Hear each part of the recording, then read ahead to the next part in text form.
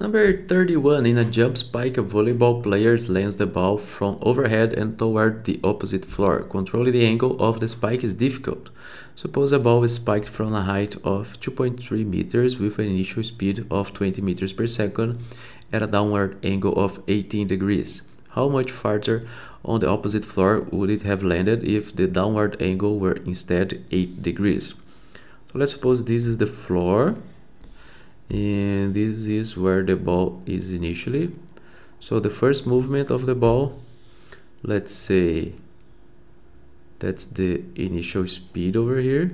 So that's the initial speed of the ball. And the movement is a parabola.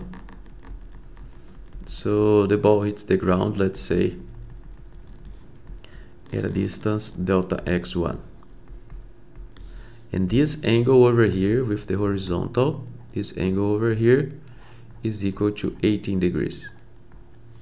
The second movement, so let's us redraw here.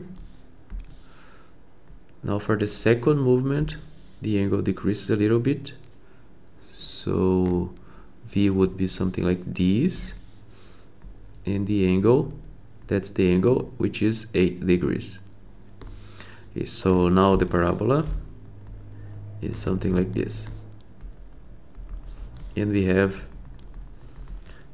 a distance of delta x2 so what we have to do is to calculate this difference of the distance right between that point and this point. So this is our goal here. We have to calculate this distance.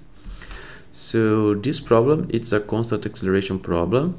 So let's say this is our y direction and this is our x direction. So let's say that's y, y points downwards.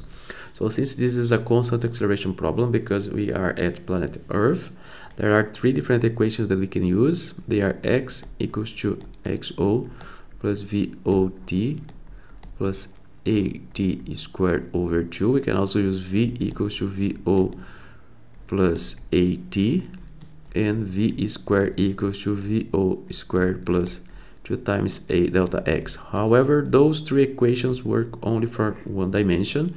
So when we are working with two dimensions, we have to add some features here. So this is vox, this is ax, vx, vox, ax, vx, vox, ax.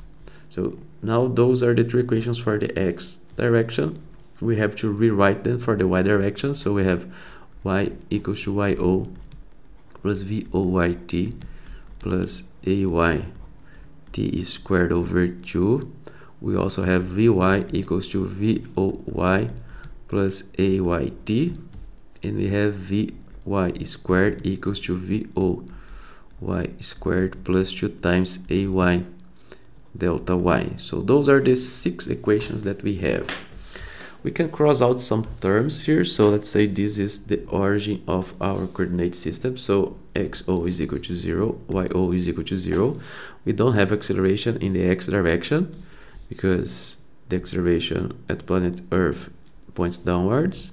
So this goes away this goes away and that goes away as well.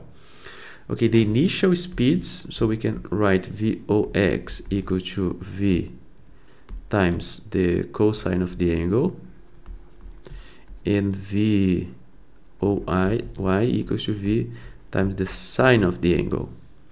Right so let us just circle the things that we don't know. That's the trick that i always tell my students that i would i always teach my students. So we want to find this x over here. So of course we don't know its value. Vox we know because we know the value of v which is 20 and we know the angle which is 18 or 8 but we don't know t. So we know the speeds in the x direction because it's constant. So the final the final position of y we do know because we know that this height is 2.3 meters. So if we we choose that up here it's zero meters and downwards is positive. The final position in the y direction is 2.3 so this is 2.3 we know its value. You could choose that the ground should be 0 and upwards should be 2.3 but that's just an option. It would be uh, it would lead to the same results. So we don't know the value of t. The acceleration of gravity we do know and value of t we don't know the initial speed we know the final speed we don't know the acceleration t we do know we don't know we know with the acceleration of gravity we know and delta y we know as well. Okay so those are the equations that we have. You know that you have to find x. So in order to find x you have to find t. So that's what the equations tells us that's why you circle the things that you don't know so it's easier for you to see what you have to do.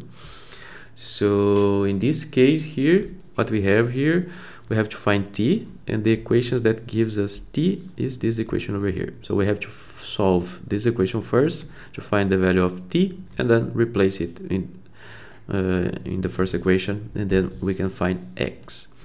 Okay so for so let's do that. So y equals to v o y t plus a y t squared over 2 so 2.3 is equal to VOY, which is 20 times the sine of the angle, which is 18 degrees, plus 9.8. In this case, the acceleration of gravity is positive because we choose that downwards is positive, times t squared over 2. So this is a second degree equation. You can solve it the way that you know so if you solve this equation, you would find that t is equal to 0 0.46 seconds. That's it? No, or no, 0 0.3 seconds, sorry. 0 0.3 seconds. So that's the time it took for the ball to hit the ground uh, at the, uh, in the, the first situation here. So that's the value of t. So now that we found t, we can find x. So x1 is equal to vox, which is equal to v times the cosine of the angle times t. And this is equal to 20 times the cosine of 18 degrees times 0 0.3 and this gives us 5.71 meters. So this is the value of delta x1 and now we have to find delta x2. For delta x2 we're going to use the same equations, the only thing that changes is the angle. So let's start from this equation here. So 2.3 is equal to 20 times the sine of 80 degrees plus 9.8 times sorry there is a t over here right? T is squared over 2 so this leads us of a t of 0 0.46 seconds. And now we can use this time this equation over here so x2 is equal to v times the cosine of the angle times t and this is equal to 20 times the cosine of 80 degrees times 0 0.46 and this gives us 9.06 meters. So this is x2 this is x1 what we want is delta x which is equal to x2 minus x1 or delta x2 minus delta x1 which is equal to 9.06 minus 5.71 and this gives us 3.35 meters. And that's the answer of this exercise